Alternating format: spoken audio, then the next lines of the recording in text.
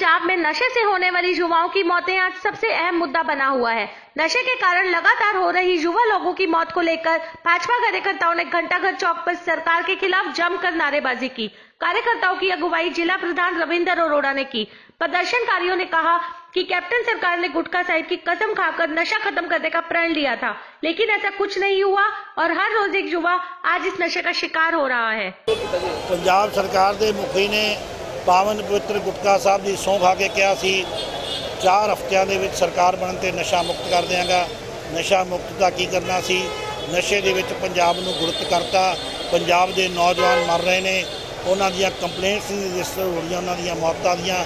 ਪਰਿਵਾਰ ਤੇ ਇੱਕ ਪਹਾੜ ਡਿੱਗਿਆ, ਮੌਤ ਦਾ ਦੂਜਾ ਪਹਾੜ ਡਿੱਗਿਆ ਕਿ ਪੁਲਿਸ ਕਾਰਵਾਈ ਨਹੀਂ ਕਰਦੀ।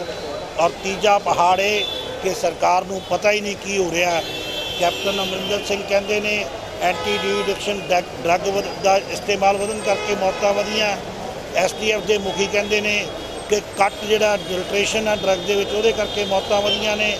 ਔਰ ਕੱਲ ਕੈਪਟਨ ਸੁਨੀਲ ਜਾਖੜ ਜੀ, ਕਾਂਗਰਸ ਕਮੇਟੀ ਦੇ ਪ੍ਰਧਾਨ, ਉਹ ਕੁਝ ਹੋਰ ਕਹਿ ਗਏ ਕਿ ਕੋਈ ਨਵੀਂ ਬਣਾ ਲੈਣ ਦੀ ਉਹਨਾਂ ਨੇ।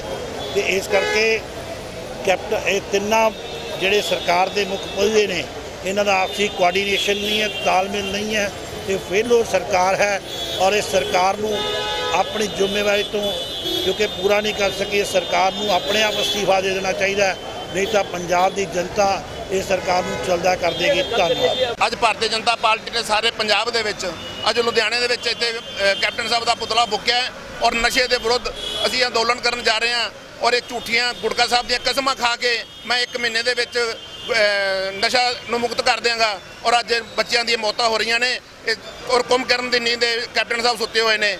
ਅਸੀਂ ਇਹਨਾਂ ਨੂੰ ਚੇਤਾਵਨੀ ਦਿੰਦੇ ਹਾਂ, ਇਹ ਨਸ਼ੇ ਜਿਹੜੇ ਲੋਕ ਵੇਚਦੇ ਨੇ, ਇਹਨਾਂ ਨੂੰ ਜਲਦੀ ਤੋਂ ਜਲਦੀ ਅਰੈਸਟ ਕੀਤਾ ਜਾਵੇ, ਜਲਦੀ ਤੋਂ ਜਲਦੀ ਫੜਿਆ ਜਾਵੇ।